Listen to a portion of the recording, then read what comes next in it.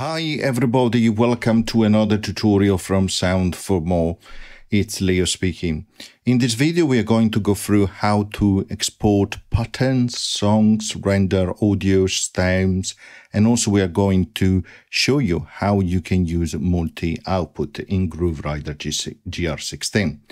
Please do subscribe to the channel if you haven't done so, as that will help me a lot with growing the channel and also to bring more videos, tutorials, etc. So let's start.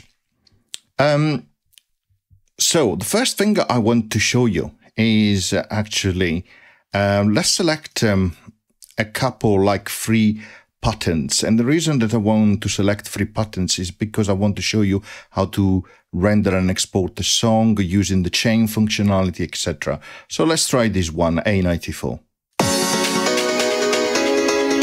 That sounds good. And um, 95, I don't like it that much. I'm going to use 96, which is a variation, and also 97. Okay, perfect. So first thing first, let's go to 90, A94, this Melbourne Shuffle one. So let's click on this button which has these uh, uh, spanners on. And let's go to export. Now here you can share the pattern. So you click on it and it will say that it will export the current pattern, including the samples used as a GR16 files. And then of course you can, uh, um, if you click OK, it will show you the usual iOS uh, screen where you can save the files, copy, send an email, etc., etc. You can export all patterns and songs. If you do so, it will um, um, export all the patterns and songs, which um, might take a bit of time depending on what you have available. Okay. Then you can also render the pattern audio. So let's click on it and you can change the name and let's click OK. It will render the audio. It will ask you to share it. Again, it will show you the usual iOS menu. Uh, where you can email, copy, save the file, etc. You can export it to audio share. You can load the samples, which has been generated through the rendering of the audio of the pattern to part 13, so you can use that further, or you can save it in the export folder. Now let's export it to audio share. Okay, there it is. Okay, it is seven seconds long, roughly. So let's delete the, uh, oops, wrong one. Let's delete that now because we don't need it. Let's go back to Groove Rider. And um, next you can render the pattern stems, so all the individuals parts separately. It will group group them all in a zip file and it will show you the user screen where you can further take it from there. Next, you have two options to render the chain audio or also the chain stems. Those are only active if under general you have selected chain mode to on. So if you do, if you see them grayed out, you need to go to general and enable chain mode. What is chain mode is the ability to chain one pattern to another so that then you can render the pattern which is selected and anything that is linked from that pattern onwards. Okay. So, and I'll come back to this. Um, you can render the quality, so you can change the quality of the rendering there, and you can also export Ableton Live set. Okay, so in order to show you the chain functionality, which is different from the uh, song functionality, let's let's click Shift and right Let's save these as new. So we have a new pattern. Let's go back to um, 96. Yeah.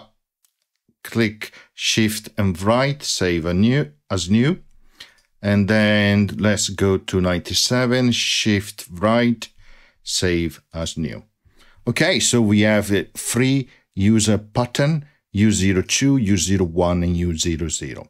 Now, if I want to create a chain, it's very simple. Let's go to the menu on the first pattern that I want to create a chain to. Let's create select pattern. Let's scroll down where it says chain to. And that is where you can select chain it to the next pattern, like so. And you can decide on many times to repeat uh, the, ch um, the chain as well. Let's click right. Okay, exit. Let's go to the next pattern, menu, chain to to the third pattern like so, right.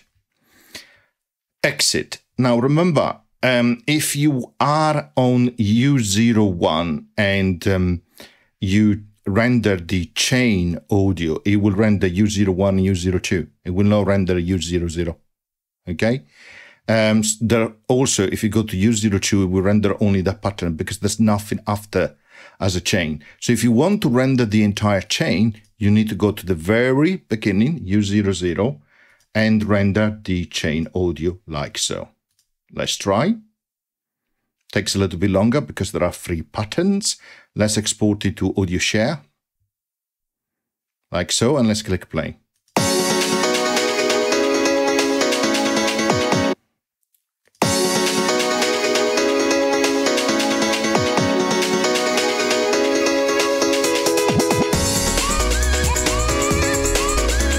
And as you can see, it is 21 seconds now. So you can see it's uh, the equivalent of three patterns. Okay, let's uh, delete that or move it to the trash folder. Okay, let's exit here. So we have now three um, user patterns. They are chained together. That's one way to render audio and you can in a chain. Another way is to go to song mode, then create a new song, go to edit, add, and add the free pattern like so. Oops. Add again the second one and add the third one. Okay, in this way we have uh, now a song with three patterns. And if we go back to the menu, you can share the song now, not only uh, anymore the pattern, you can render the song audio, the song stems, and you can still change the quality. So let's try to render the song audio. Let's export it to audio share. Done. And you can see it's still 21 seconds.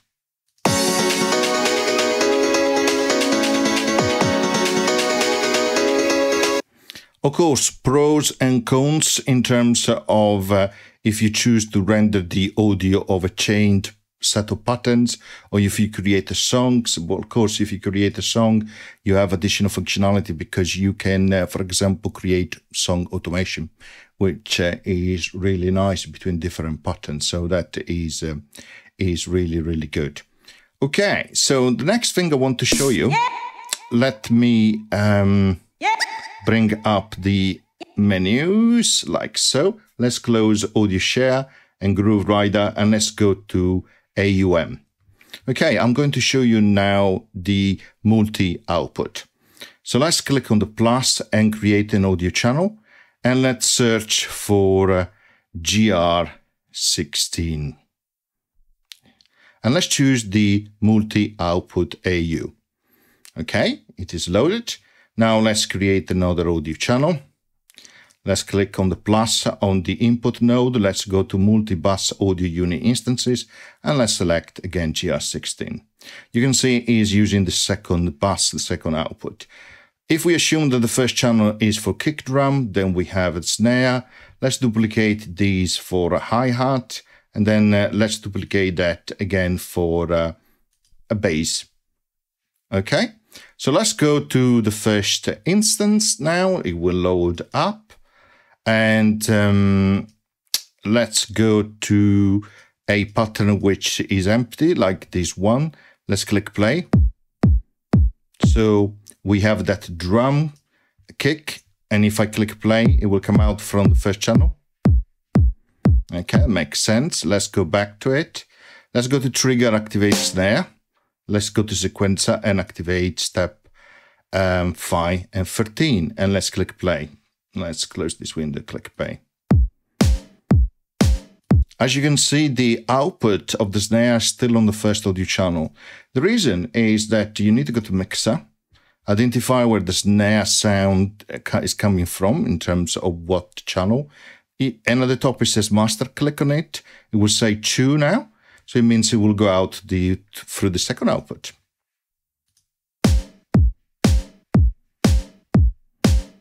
Really nice. Okay, and um, let's continue like so. So let's go back to um, GR16. Let's select the hi-hat.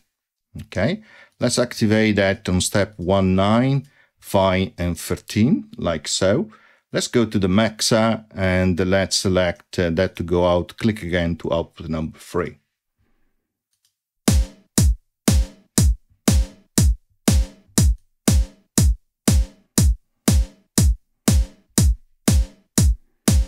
Okay, you can see down here that is on channel number three. Okay, let's create another one. Let's uh, exit the mixer. Let's go to the trigger. Let's select the first uh, part oscillator. Let's change that to sine plus FM. Let's give some FM like so. A little bit, uh, why not? A low pass filter, four pole soft click. Uh, something like so. A little bit of resonance. Uh, uh, removal the sustain uh, give a bit of attack, a lot of decay, a bit of release, uh, act that on the environment dial for the filter, and uh, let's try it.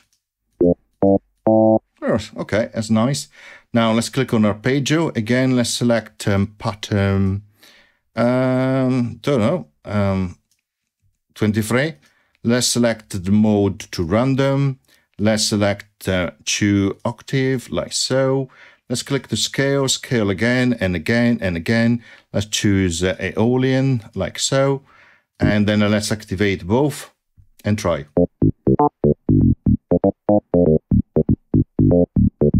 Really nice. Let's record that.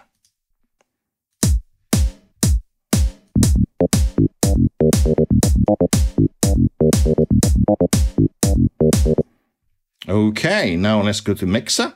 Let's find the first oscillator, number one there. Let's click to master two, three, and four to redirect the output to output number four, which will be here. So let's try it.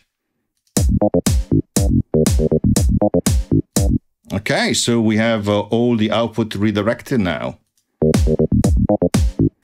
to different channels. And now, because you, you are in AUM, you can, you can add effects. Let's try a little bit. Let's search, for example, for a reverb for this snare. Oops. And uh, let's choose BLEASS Reverb. I, re I, recommend BLEASS Reverbs. There are uh, BLEASS effects in general. They're really, really nice. Let's uh, add here a delay to the hi-hat. Uh, again, BLEASS delay, the default one sounds really good. Then on the bass, why not? Let's add a chorus BLEASS chorus, fantastic. Let's leave the rainbow uh, preset as default. That's fine. Double click here, select another uh, effect. Let's choose phaser from BLEASS again. Let's go inside, change the preset to the metal box, which I really like. So let's try.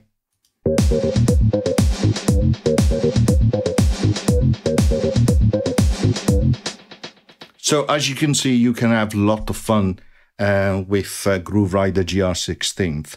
So in summary, we have seen how to export patterns, songs, how to render pattern, song, and chained patterns as audio, stems.